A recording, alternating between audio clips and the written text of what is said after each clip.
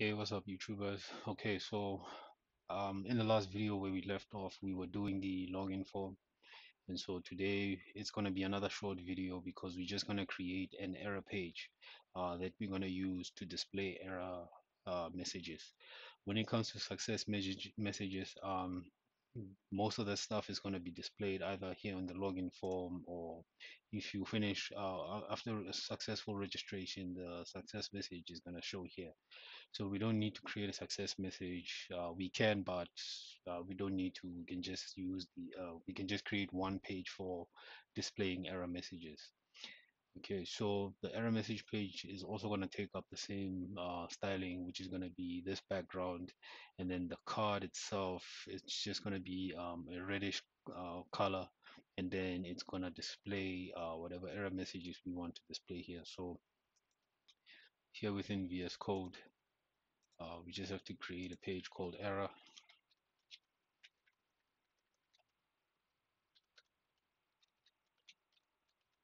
right? And then we can just add that boilerplate. And then here we can say error or errors. And then again we're just going to take these resources that we've uh, copied over here. All right and then paste them up here.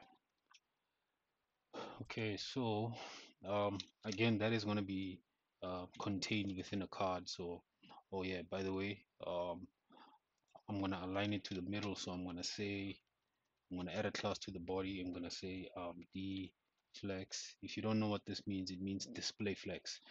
Um, that's for those of you in case you were wondering. Um, and display items center justify uh, content center. And then here we're going to say card.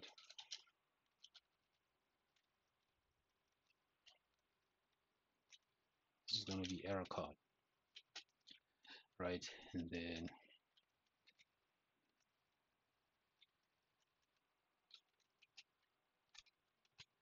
end of card. All right so i'm to say card. That's a bootstrap class. And then i want this card to span about four columns. So for that i just have to add, add another class and say col and then four. And then everything is going to display in red. So we need to add two more classes to this which is going to be or actually a, a number of classes which is going to be alert and then alert uh, danger. This is going to give it a reddish color and then we're going to say border. And then dots uh, border danger. So this is going to give it a reddish border. And uh, press enter. And then that should be it. Right so we're gonna say um, card title?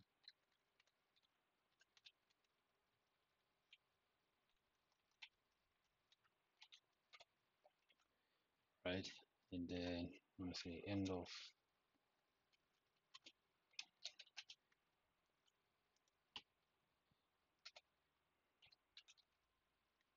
Uh, it's gonna be an age let's just make it an h3 and then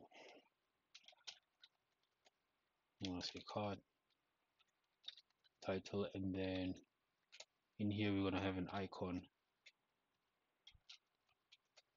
And FA um what is it? I think it was FA window close which is gonna give it an X uh, kind of like an X um, next to the text. And then here we can just say errors right?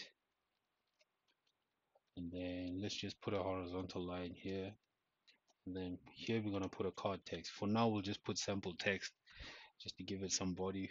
But when we get to um, working with um, with Java or Spring Boot um, whatever error messages we have uh, we will just we'll set it up once we start working with that. So for now we'll just put some card text I mean some sample text uh, actually this needs to be within a body sorry. So first thing I need to do is create the card body. Let's say end of.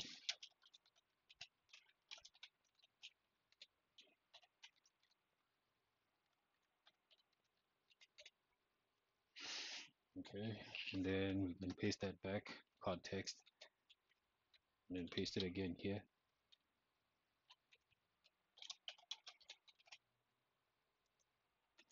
on card text. Okay so here we'll use lorem for that. Uh, this is an extension I installed by the way an emmet as you can see an emmet abbreviation. So here we can then add how let's just put 20 characters within here. Okay let's just uh, put that on the next slide. All right um, let's just see how it looks so remember our page was error? Um, oh yeah we need to link we need to link that um, we need to link that I wonder why it's not showing to the center. Oh yeah we need to link that default uh, styling page CSS uh, CSS and default. All right okay so obviously this is picking up from the last um, from the stylings that we made within the last video. So to override these styles we can just uh, place in um, what you call it? We can just put in our our text over here and say text danger. All right?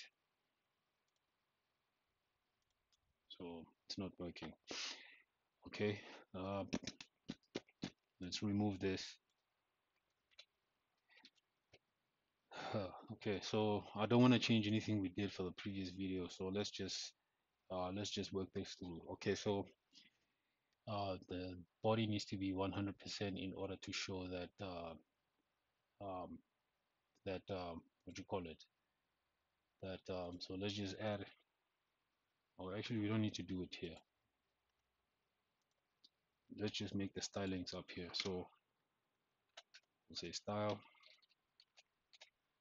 So we'll say body. And then we'll say uh, height uh, 100 viewports. Right? That should be that should give this uh, send this to the middle the we can actually take these stars from here. We can do this.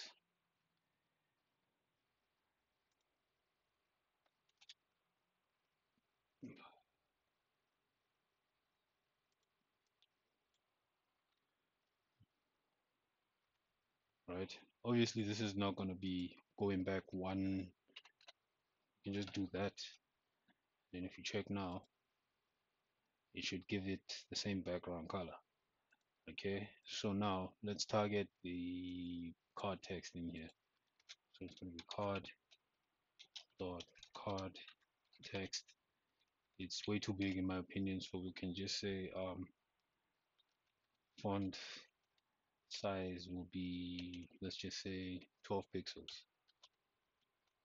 Let's check it now. Yeah that's way too small okay um uh, let's make it 14 pixels. Uh, still a bit too small. Let's make it 16 okay that's fine right? Now let's target all the all the elements to have the same font. So for that we're going to say um,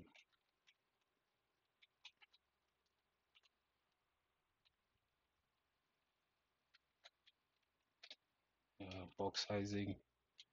It's going to be border box and then font uh, family will be Concord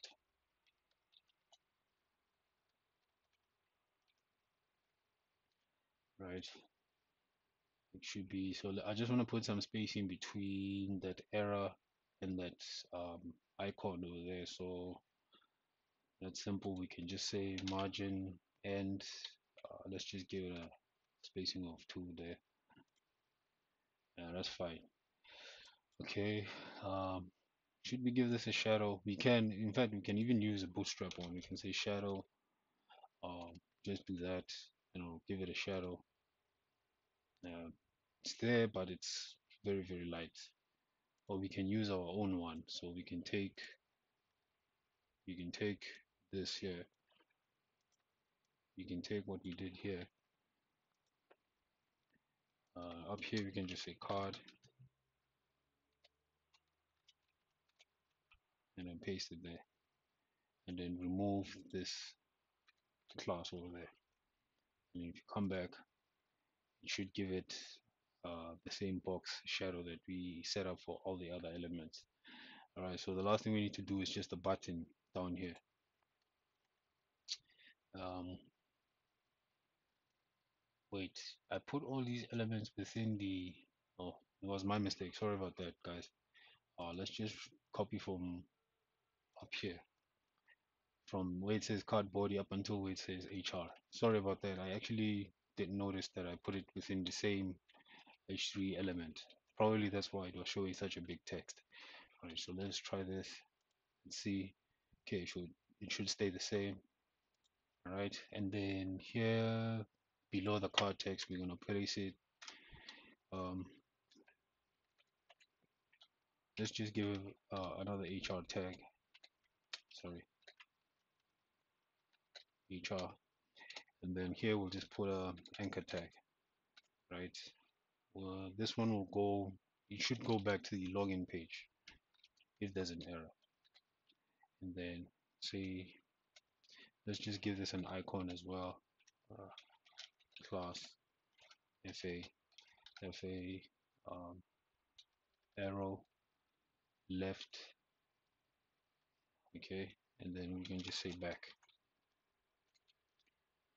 Right um, let's just give it a margin. We can just say m margin end. Let's just say one. And then we're going to give this anchor tag a class of btn btn sm and then btn danger which is going to make the button red. Uh,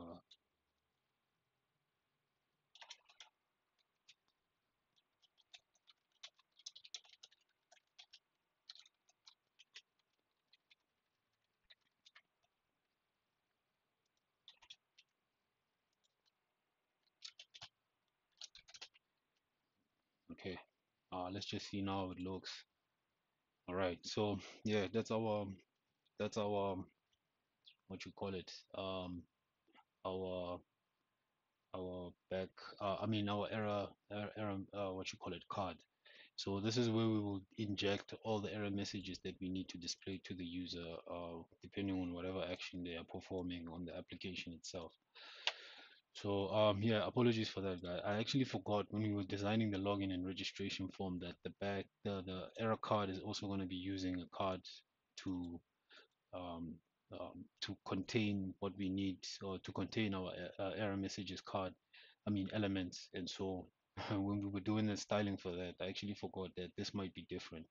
So, but in any case, as you can see, the styling didn't take too much of it. Uh, it's, it's just um, making sure that we uh, set these elements to display how we wanted them. And then just remember the because the error page is sitting outside um, outside of the bootstrap I mean the CSS folder uh, it needs to just go one folder down and then yeah. But all the other elements within the uh, other CSS files it has to go back up one one directory and then into the into the images folder all right so i think that should be it in terms of the if i click here yeah it should take me to the login page and so forth. So yeah that should be it in terms of the error messages card. All right guys so that's it for the video. Um again if you've liked what you've seen so far uh, please don't forget to like share and subscribe. Um, i'll see you guys within the next video. All right cheers for now